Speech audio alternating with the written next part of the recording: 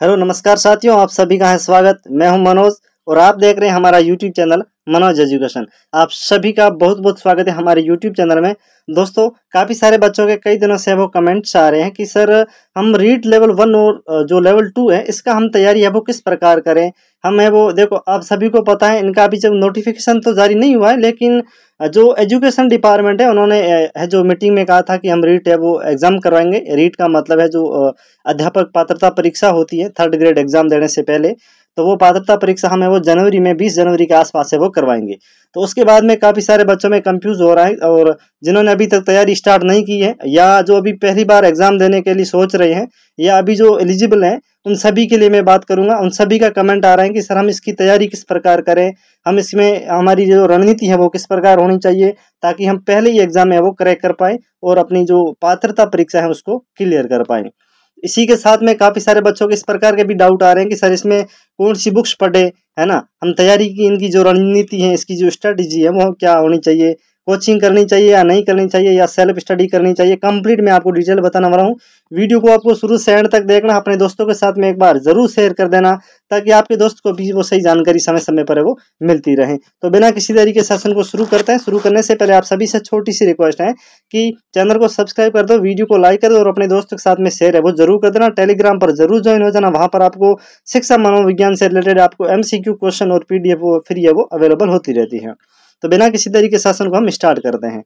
सबसे पहले मैं आपको बताना चाहूँगा कि रीट जो भर्ती 2022 में हुई थी, आप सभी को पता है, उसमें मेरे 132 नंबर आए थे। कितने में से आए थे? 150 में से 132 अंक है, वो मेरे आए थे। कितने आए थे? 132 आए थे पचास में से, ठीक है? अब मैं आपको बताऊँगा कि मैंने पहले देखो, मैं आपको बताऊँगा कि इसके लिए जो बेस्ट बुक्स है वो आप मार्केट से कौन सी आपको खरीदनी चाहिए? क्योंकि देखो मार्केट में एक दो बुक्स नहीं आई है। इनकी पूरी रीट वैकेंसी से रिलेटेड अगर बात करें, प्रत्येक सब्जेक्ट की अलग अलग बुक आई है, उसकी क्या कॉस्ट रहने वाली, क्या उसकी प्राइस रहने वाली है, आपको कहाँ से खरीदनी चाहिए? इसके अलावा अगर बात करूँ तो आपको है जो कौन कौन सी बुक्स पढ़नी चाहिए? और मैंने आप, जो है वो बाईस में जो एग्ज़ाम दिया था ना, एक अंक आए थे मेरे। इसमें मैंने कौन सी बुक्स पढ़ी थी या कौन सी कोचिंग ज्वाइन करी थी या सेल्फ स्टडी मैंने किस प्रकार की थी? क्या क्या कंटेंट पढ़ा था?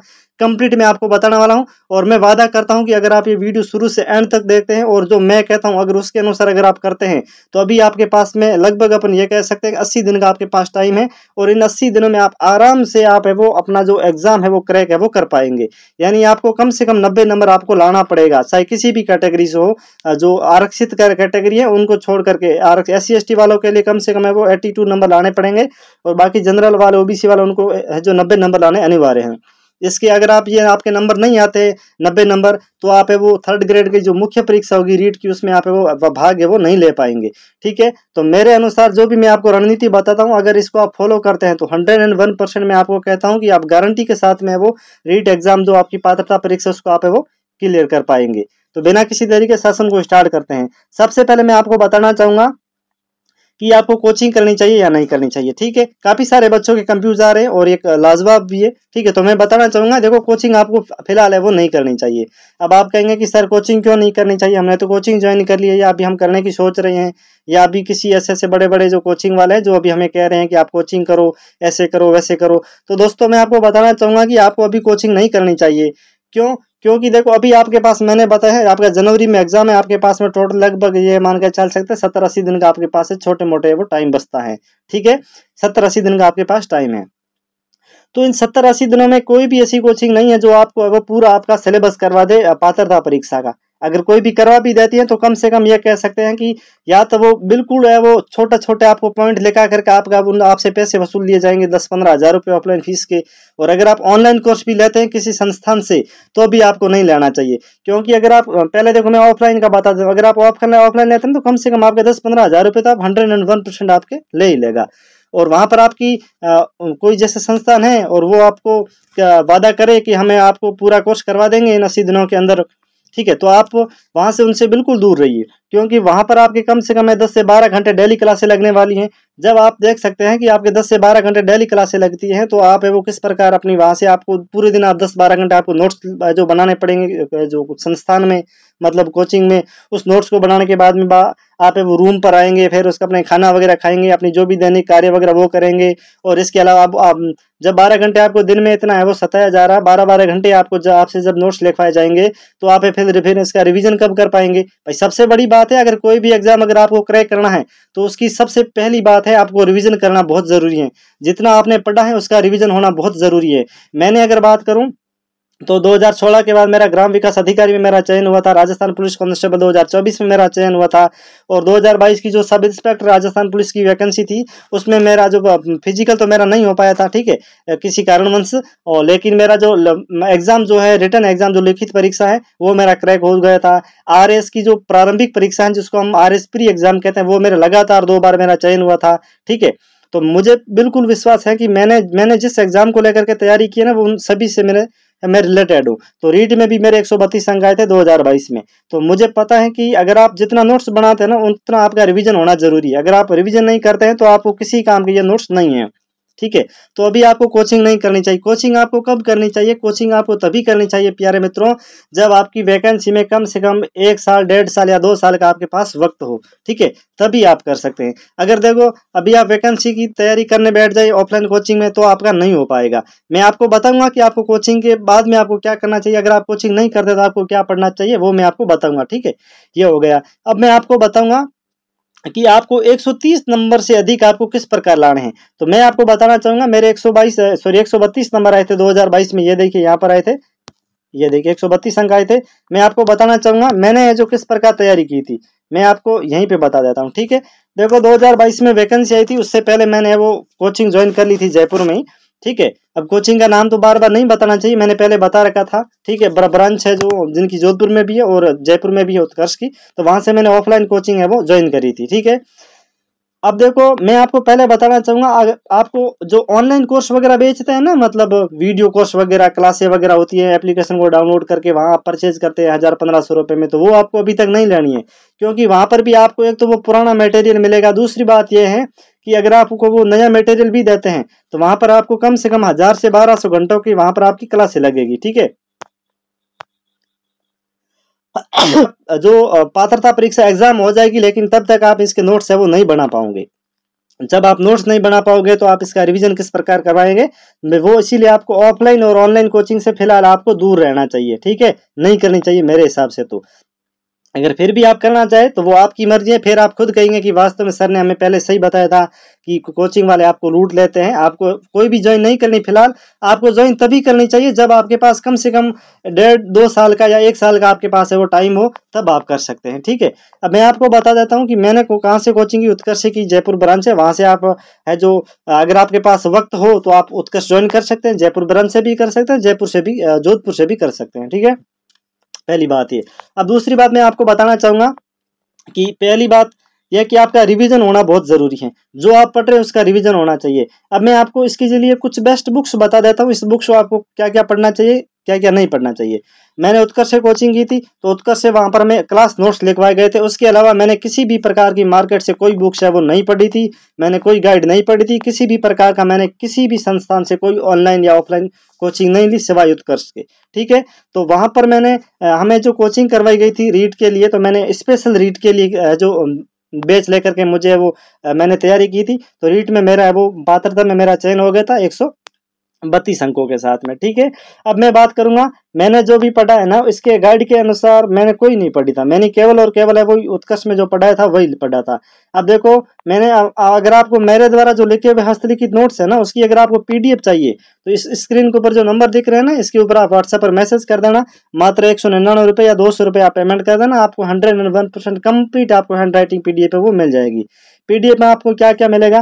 पहले तो आपको मिलेगा शिक्षा मनोविज्ञान कंप्लीट मिलेगी। शिक्षा मनोविज्ञान level one level two science arts दोनों के लिए ये एसएसटी और साइंस और लेवल वन तीनों के लिए उपयोगी है शिक्षा मनोविज्ञान। उसके बाद में भाषा प्रथम, जो भी आप रखना चाहते हैं, हिंदी, अंग्रेज़ी, संस्कृत या जो भी आप रखना चाहते हैं, वो आपको मिल जाएगी लैंग्वेज प्रथम।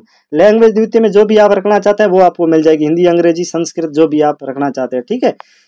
और तीसरी बात है यहाँ पर आता है इंडिया जीके। इंडिया जीके में आपको क्या क्या पढ़ना पड़ता है? भारत का इतिहास पढ़ना पड़ता है, भारत का भूगोल, भारत की पॉलिटी इसके अलावा इसके अलावा आपको विश्व का जो अपना भूगोल है वो पढ़ना पड़ेगा और एसएसटी में है जो एसएसटी को कंप्लीट आपको राजस्थान का इतिहास पढ़ना पड़ेगा और इसके अलावा राजस्थान आर्ट पढ़ना पड़ेगा, यानी कला संस्कृति पढ़नी पड़ेगी। इसके अलावा अगर बात करें तो राजस्थान ज्योग्राफी पढ़नी पड़ेगी, राजस्थान, ठीक है? इसके अलावा अगर बात करें तो आपको शिक्षण विद्या पढ़नी पड़ेगी, हिंदी की, यानी जो आपकी दो भाषा है, इनकी दोनों की शिक्षण विद्या और एसएसटी की शिक्षण विद्या इसके अलावा अगर बात करें, आपको शिक्षा मनोविज्ञान की शिक्षण विद्या आपको पढ़नी पड़ेगी। तो मैं आपको थोड़ा सा यहाँ पर है वो डेमो बता देता हूँ, भारतीय इतिहास के नोट से कंप्लीट में आपको बताऊँगा संपूर्ण सभी सब्जेक्ट के, ठीक है? तो ये अपने इस प्रकार के रहने वाले हैं। भारतीय इतिहास के देखिए, सिंधु घाटी सभ्यता में इस प्रकार के हैंडराइटिंग नोट से बहुत ही अच्छी यहाँ पर एक पूरा कंप्लीट यहाँ पर कंटेंट है, वो दिया गया है। अब देखो, जैसे यहाँ पर सिंधु घाटी सभ्यता है तो यहाँ से पूछा जाता है कि इसके नामकरण क्या क्या नाम दिए गए तो सिंधु घाटी सभ्यता इसी को कहते हैं। इसको सिंधु सरस्वती सभ्यता हड़प्पा सभ्यता, नगरी सभ्यता कहते हैं। किसने कहा था? गार्डन चाइल्ड ने नाम दिया था। किसने दिया था? गार्डन जो चाइल्ड है, ये आर एस में दो हज़ार सोलह में क्वेश्चन है, पूछा गया था। उसके बाद में इसको कांसी युगीन सभ्यता भी कहते हैं। सर्वप्रथम इसकी जानकारी है, वो चार्ल्स मेसन मेसन के द्वारा वो दी गई थी, ये आपको ध्यान में रखना। इस प्रकार के क्वेश्चन आते हैं पॉइंट टू पॉइंट लिखा हुआ टू द पॉइंट है कंप्लीट ठीक है? अब यहाँ पर देखिए, ये सिंधु सभ्यता की उत्पत्ति विदेशी किस किसने माना था? तो जॉन मार्शल, गार्डन, चाइल्ड, और दामोदर, एच डी सांकलिया कोशाम्बी इन्होंने वो विदेशी माना था, ठीक है? तो ये स्वदेशी इन्होंने माना था, अमलानंद घोष ने माना था, इस प्रकार ये कंप्लीट आपको यहाँ पर पीडीएफ मिलने वाली भारतीय इतिहास की, और इसके ये दो तीन पेज इसके हो गए ये, ठीक है? अब देखो ये सिंधु घाटी सभ्यता है तो ये इसका उत्तर का विस्तार है दक्षिण का पूर्व का और पश्चिम का। यानी सिंधु घाटी सभ्यता का विस्तार कहाँ से कहाँ तक था ये कंप्लीट इसमें चित्र के माध्यम से डायग्राम के माध्यम से आपको बता दिया गया है। ठीक है? हाँ अब मैं आपको बताना चाहूँगा कि आ, मैं आपको एक बार बता देता हूँ। जो शिक्षा मनोविज्ञान के नोट से हस्तलिखित वो और बाकी जितना भी इंडिया जी के हैं पोर्शन वगैरह अपना शिक्षण विद्या वगैरह वो कंप्लीट मैं आपको एक बार बता देता हूँ। तो ये अपना साइकोलॉजी का हो गया, मनोविज्ञान का हो गया, इस प्रकार देखिए, पहले ये मनोविज्ञान का सामान्य अर्थ वगैरह लिखा हुआ कि मनोविज्ञान एक ऐसी विज्ञान है जो प्राणियों के व्यवहार और मानसिक दैहिक प्रक्रियाओं का अध्ययन करती हैं, ठीक है? फिर यहाँ पर यह देखो, पिछली बार वो रीट में एग्ज़ाम हुआ था ना, उसमें यह क्वेश्चन पूछा गया था कि शिक्षा, मनोविज्ञान जो साइकोलॉजी शब्द है वो किन, किस भाषा का शब्द है? तो ये पूछा गया था ग्रीक भाषा या यूनानी भाषा का होता है। साइको से और लोगस से बना है जिसका अर्थ होता है आत्मा का विज्ञान। सॉरी, आत्मा का अध्ययन होता है। ये लिखा हुआ देखो साइकोलॉजी का अर्थ लिखा हुआ है ना? तो यहाँ से ऐसे ऐसे क्वेश्चन ही आते हैं। अब देखो, मनोविज्ञान की ये परिभाषा क्रो व क्रो के अनुसार, दे रखी है मोर्गन के अनुसार, वॉटसन के अनुसार, जिम्बाडो के अनुसार, मैकडूगल के अनुसार, बोरिंग के अनुसार, वुडवर्ड के अनुसार। सारी इंपॉर्टेंट इंपॉर्टेंट जो इनकी डेफिनेशन है, वो हमने इसमें डाल रखी है। और इसके अलावा यहाँ पर जो अन्य जो उनके विकास का जो क्रमबद्ध तरीका, वो आत्मा का विज्ञान किस, किसने माना था? जैसे ये प्लेटो और डेकार्ते ने माना था, मन मस्तिष्क का विज्ञान किसने माना था? इटली के पोम्पोलॉजी, थॉमस रीड, लोक बर्फीली, इन्होंने माना था। चेतना का विकास किस, किसने माना था? ये दे रखा है, यानी William Wundt, James Sully William James, Freud वाइम्स ये, और व्यवहार, अनुभूति का विज्ञान है। वाटसन मैकडूगल और वुडवर्ड स्किनर ने माना था। वर्तमान में यह परिभाषा है, वो अभी तक चल रही है। अब जैसे आपने ऊपर ये चार पढ़ा था ना, व्यवहार, अनुभूति का विज्ञान और तीसरा चेतना का विज्ञान, विकास, मन, मस्तिष्क का विज्ञान और आत्मा का विज्ञान। इन चारों की एक ट्रिक दे रखी है, आम को चाव से खाते। आम चाव है ना, आत, आ से आम का विज्ञान, म से मस्तिष्क का विज्ञान, च से चेतना का विज्ञान और व से व्यवहार अनुभूति का विज्ञान।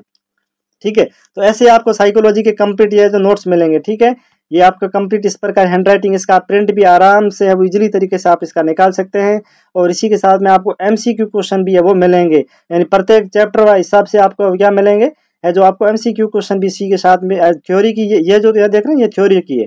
थ्योरी की भी मिलेगी और एमसी की क्वेश्चन भी आपको फ्री में जो प्रोवाइड करवाई जाएगी साथ में। ठीक है?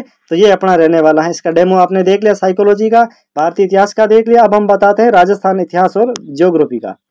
ना, वो ये जो नंबर दिख रहा है ना, इसके ऊपर आपको व्हाट्सअप मैसेज करना है और दो सौ रुपए का पेमेंट कर देना, आपको मिल जाएगा हैंड टू हैंड ये अपने अभी हमने देख लिया है, बाल विकास और शिक्षण विधियाँ, भारतीय इतिहास का हमने डेमो बता दिया है। ये अपने भारतीय जो इतिहास जो संविधान इसका ये पीडीएफ आपकी रहने वाली है और भारत और विश्व का भूगोल की यह रहने वाली है, सामान्य हिंदी की आपकी रहने वाली देख सकते हैं। जो आपका फ़र्स्ट लैंग्वेज वगैरह है ना, वो आपके कंप्लीट रहने वाली ए टू जेड आपको यहाँ पर चैप्टर है, वो मिल जाएँगे। ठीक है? नेक्स्ट अपना ये राजस्थान का भूगोल है देख सकते हैं इस प्रकार की राजस्थान भूगोल का ये कंप्लीट आपका रहने वाला है। ठीक है? ये नवीनतम जिलों पर आधारित है देख सकते हैं राजस्थान का स्थिति और विस्तार को। यहाँ पर इस प्रकार डायग्राम के माध्यम से यहाँ पर आपको समझा रखा वीडियो को एक बार आप पोज करके वो रो करके इसका पूरा चैप्टर आराम से आप है वो पढ़ सकते हैं। देख सकते हैं इस प्रकार आपका टोटल है वो लिखा हुआ है। ये देखिए, जैसे जलवायु है कंप्लीट परिभाषा है, अक्षांश, देशांतर संपूर्ण यहाँ पर आपका डाला हुआ है, ताकि एक भी आपका क्वेश्चन है वो बाहर नहीं जाने वाला है। ठीक है? तो ये आपको अगर लेना चाहते हैं ना तो इसके अलावा आपको किसी भी प्रकार की कोई गाइड नहीं पढ़नी पड़ेगी, किसी भी प्रकार की कोई कोचिंग आपको ज्वाइन है, वो नहीं करनी पड़ेगी। जैसे ये महाजनपाद काल आपको पता ही आपके चैप्टर में जो आता है, आपके सिलेबस में सभ्यताएँ भी आते हैं। देखो ये कालीबंगा सभ्यताएँ और कालीबंगा सभ्यता का उत्खनन स्थल वगैरह विशेषताएँ संपूर्ण यहाँ पर बता रखा है। ये देखिए, फिर सौंती सभ्यता रंगमेल सभ्यताएँ, पीलीबंगा, गणेश्वर और बेराट सभ्यता, बहुत इंपॉर्टेंट इंपॉर्टेंट सभ्यता है, संपूर्ण यहाँ पर आप डाली हुई सुनारी सभ्यता आड़ सभ्यता, इनकी विशेषताएँ संपूर्ण यहाँ पर आपको मिल जाएगी, ठीक है? और कल्चर में आप देख सकते हैं, ये आपको रहने वाली है टोटल इस प्रकार की आपकी संपूर्ण आपकी पीडीएफ वो रहने वाली है, ठीक है? अब देखो, ज़्यादा इतना इतना हम लंबा नहीं रखेंगे वीडियो, और बाकी आपका जो भी सब्जेक्ट है, जैसे भाषा लैंग्वेज जो आपकी फ़र्स्ट है सेकंड है, जो भी हिंदी, अंग्रेज़ी, संस्कृत वगैरह है कंप्लीट आपको जो मिल जाएगा, ठीक है? दोस्तों, हम बात करते हैं। अगर आप कोई भी गाइड खरीदते हैं तो वो गाइड आपको कितने में पड़ेगी और नोट्स आपको कितने में पड़ेंगे? ये नोट्स अभी जो मैंने आपको बताए हैं, ये कंप्लीट आपको मिलेगा। इसके अलावा आपको किसी भी प्रकार की कोई मार्केट से किसी सब्जेक्ट की कोई गाइड नहीं लानी पड़ेगी, ना ही कोई कोचिंग लानी पड़ेगी, ठीक है? तो मैं आपको बता देता हूँ, एक बार अगर आप कोई गाइड लेते हैं, अपने ये नोट्स नहीं खरीदते और गाइड लेते हैं तो देखो नोट्स है ना, मैं आपको बताना चाहता हूँ, वो स्टूडेंट ये नोट्स ज़रूर खरीदे। जो अभी जिनका ये पहली बार ये रीड का एग्ज़ाम दे रहे हैं, जो बिल्कुल अभी तक नवीनतम स्टूडेंट है और अभी तक जिन्होंने बिल्कुल भी तैयारी शुरू नहीं की है, या आप तैयारी करने की सोच रहे हैं, या अभी तक आपने पहला एग्ज़ाम आप दे रहे हैं रीट का तो ये आपको जो नोट्स में आना, अभी आपको बताए ना ये दो सौ रुपये वाले। हंड्रेड एंड वन परसेंट आपके लिए ये रामबाण सिद्ध होगा। किसी भी प्रकार का कोई आपको गलत जानकारी नहीं है। संपूर्ण अक्टूबर 2024 तक अपडेटेड है, ठीक है? इसके अलावा कोई आपको अलग से गाइड या अलग से कोचिंग वगैरह कोई ज्वाइन नहीं करनी है, कुछ भी नहीं लाना है। ठीक है? तो अभी जो पहली बार तैयारी करें ना, उसके लिए बहुत इंपॉर्टेंट है। और जो दूसरी बार भी तैयारी करें पहली बार सिलेक्शन नहीं हुआ, वो भी ये नोट्स ले ले ताकि आपको यहाँ से बहुत ही ज़्यादा आपको बेनिफिट मिले। और पहली बार तैयारी कर रहे हैं, अगर आप सोच रहे हैं कि मुझे क्या लेना चाहिए, क्या नहीं लेना चाहिए, अगर आप सोच रहे हैं कि मैं ये नोट्स लूँ या कोई गाइड खरीदूँ तो देखो नोट्स आपको कंप्लीट दो सौ में मिल जाएँगे। लेकिन आप जो गाइड वगैरह खरीदेंगे ना, वो आपको लगभग दो हज़ार, पंद्रह सौ के, पंद्रह सौ या दो हज़ार के करीबन आपको कंप्लीट गाइड आपको मिलेगी। तो गाइड में फालतू का मैटर दिया होता, ज़्यादा होता है ठीक है? और वो आउट ऑफ़ सिलेबस होता है, उसमें आपको पॉइंट टू पॉइंट नहीं लिखा हुआ मिलेगा थ्योरी मिलेगी कंप्लीट जो थ्योरी आपकी लगभग कह सकते हैं कि छः सात महीने भी आपकी कंप्लीट नहीं हो पाएगी। मेरे पास जो नोट्स है वो बिल्कुल पॉइंट टू पॉइंट है टू द पॉइंट है। वो सिलेबस के अकॉर्डिंग है नवीनतम है अपडेट है अभी जो ज़िले वगैरह बने उसके अनुसार है ठीक है? अब मैं आपको बताना चाहूँगा कि अगर आप कोई बुक बुक लेते हैं ना जैसे अगर ये साइकोलॉजी की बुक अगर आप लेते हैं किसी भी आ, किसी की भी ले लेते हैं। जैसे मैं सिखवाल की बात करता हूँ तो सिखवाल की आपके पास जो साइकोलॉजी की जो बुक आती है ना दोस्तों वो आपको मिल जाएगी दो सौ में मिल जाएगी दो सौ मान लेते हैं। ठीक है? ये इनकी प्राइस रहने वाली, मैंने मार्केट में भी पूछा है होलसेल में। तो दो सौ रुपये में ये मिल जाती है, ठीक है? और अगर आप किसी गाँव से हैं तो गाँव में खरीदते हो लगभग दो सौ, ढाई सौ रुपये में आपको वहाँ से मिलेगी, ठीक है? नेक्स्ट हम बात करते हैं, ये अपनी दूसरी लैंग्वेज यहाँ पर सॉरी पहली भाषा पर हिंदी मानते हैं। हिंदी अगर प्रथम भाषा के रूप में अगर आप बुक लेते हैं तो भी आपको दो सौ रुपये में मिलेगी। अगर आप सेकंड के रूप में लेते हैं सेकंड लैंग्वेज हिंदी रखते हैं तो भी आपको दो सौ रुपये में मिल जाएगी। यानी दो सौ साइकोलॉजी के और दो सौ हिंदी के हो गए चार सौ रुपये की। ठीक है? चाहे किसी भी आप आप वो पब्लिकेशन की ले लो आरबीडी की ले लो सिखवाल की ले लो लक्ष्य की ले लो, चाहे कोई भी ले लो, ठीक है? या आप धिंदवाल की ले लो, या इसके अलावा अगर बात करें आप नाथ पब्लिकेशन की लो चाहे कोई भी ले लो, कम से कम दो सौ रुपये से तो ज़्यादा ही कम है ही नहीं। दूसरी भाषा यहाँ पर मैं बता देता हूँ आपको संस्कृत के बारे में। तो संस्कृति आपको मिल जाएगी दो सौ बीस रुपये में मिलती है, कोई भी पब्लिकेशन की ले लो ठीक है, अगर आप पहली बात अंग्रेज़ी रखते हैं तो अंग्रेज़ी आपको एक सौ अस्सी रुपये में मिलती है बुक, इनकी गाइड मिलती है। और सेकंड लैंग्वेज अगर आप जो रखते हैं, हिंदी तो हिंदी आपको दो सौ में मिल जाती है। अगर आप सेकंड लैंग्वेज इंग्लिश इंग्लिश रखते हैं तो भी आपको एक सौ अस्सी रुपये में मिल जाएगी, ठीक है? वो आपको मार्केट से आप गाइड वगैरह ले सकते हैं। इसके अलावा मैं अगर बात करूँ एसएसटी में आता है। एसएसटी में देखो ऐसी ऐसी है जो यहाँ पर अगर बात करें तो जैसे ये भारत का इतिहास है, ये कंप्लीट दो टॉपिक या तीन टॉपिक तो इसके लिए अलग से गाइड आती है, जैसे नाथ पब्लिकेशन की अगर बात करें तो वो आती है कम से कम अगर बात करें, एक सौ की आती केवल आता है इंडिया जी के, आता है एक में आता है। ठीक है? और इसके अलावा अगर बात करें, ये इंडियन पॉलिटी आ गया, है ना? यानी भारत का जो संविधान आ गया और भारत का भूगोल आ गया और ये आ गया वर्ल्ड का भूगोल। ये कंप्लीट आपकी बुक आती है ढाई सौ रुपये में। ये इन तीन टॉपिक अलग से आती है, ठीक है? ये हो गई, और इसके अलावा राजस्थान भूगोल, इतिहास, कला, संस्कृति है तो राजस्थान भूगोल की अलग से इनकी एक गाइड आती है, सभी की अलग अलग से आती है, एक सौ अस्सी रुपये की आती है। राजस्थान इतिहास, कला, संस्कृति की अगर बात करें तो अलग आती है, एक सौ अस्सी रुपये की आती है, ठीक है? और अगर आप ये केवल शिक्षण, विधियों की लेते हैं, कोई भी मार्केट से तो ये आपकी दो सौ ढाई सौ रुपये की आती है अलग अलग पब्लिकेशन की आती है। कुल मिला के अभी जो मैंने बताई है, ये कंप्लीट इसी प्रकार की आती है, चाहे आप साइंस से हो, आर्ट्स से हो, ठीक है, सभी की। मैंने कंप्लीट इनको जोड़ लिया है, ये अठारह सौ, उन्नीस सौ रुपए के करीबन आपका इस पूरा सेटलमेंट बैठता है, अगर आप मार्केट से गाइड खरीदते हैं। गाइड आपकी कंप्लीट आपका सिलेबस पर आएगी, लेकिन उन्नीस सौ रुपए में आएगी आपकी पूरी। मैं आपको कंप्लीट नोट्स दे रहा हूँ पॉइंट टू पॉइंट आपको मिलेगा, और इसके अलावा आपको कुछ भी पढ़ने की आवश्यकता नहीं पड़ेगी, मात्र दो सौ रुपये में दे रहा हूँ। यानी जब आप, आपको दो सौ रुपये में पूरा कंटेंट मिल रहा है सिलेबस के अनुसार मिल रहा है अपडेटेड मिल रहा है तो ये आप उन्नीस सौ वाला क्यों खरीदे? यहाँ पर आपको सत्रह सौ रुपये का आपको फ़ायदा हो रहा है तो यही आप दो सौ रुपये वाला ज़रूर खरीदे। यहाँ से आपको कंप्लीट आपको मिल जाएगा, कोई आपको गाइड देने की आवश्यकता नहीं पड़ेगी। जो गाइड में नहीं दे रखा है वो अपने नोट्स में दे रखा, पॉइंट टू पॉइंट दे रखा है। और नोट्स में अगर बात करें तो पूरा अपडेटेड है, लेकिन गाइड वगैरह ना इसमें अपडेटेड नहीं है। जो अगर आप आर एस प्री का एग्ज़ाम देते हैं ना तो आर एस प्री के, प्री की कोई भी आप गाइड ले लेता है ले लेना और रीड की ले लेना। और जो पब्लिकेशन वाले ना, जो आर एस प्री का जो सिलेबस है ना, वो सेम टू सेम वहाँ से पेज उठा करके रीट वाली बुक में है वो, या रीट वाली जो गाइड होती है उसमें वो लगा लेते हैं। और वही आप दोबारा पढ़ लेते हैं, ठीक है? तो वो आपको नहीं पढ़ना चाहिए, वो आउट ऑफ़ सिलेबस ज़्यादा होता है, जो उसमें इतना डिटेल से दे रखा जो आपके एग्ज़ाम है बिल्कुल नहीं आता है। तो उन्नीस सौ रुपये की आपकी गाइडें आती है, आप कहीं से भी खरीद लेना, और अगर आप केवल नोट्स लेना चाहते हो तो मात्र दो सौ रुपये में आपको मिल जाएगा। टेलीग्राम की आपको लिंक मिल जाएगी, वहाँ पर आप ज्वाइन हो जाना नोट्स लेने के लिए स्क्रीन के ऊपर दिख रहे नंबर के ऊपर आप व्हाट्सएप मैसेज कर देना। और इसी वीडियो के डिस्क्रिप्शन में आपको सीधे लिंक मिल जाएगी टेलीग्राम की, वहाँ पर ज्वाइन हो जाना और व्हाट्सअप की लिंक नीचे दी गई, वहाँ वहाँ से भी आप व्हाट्सअप मैसेज है वो कर सकते हैं।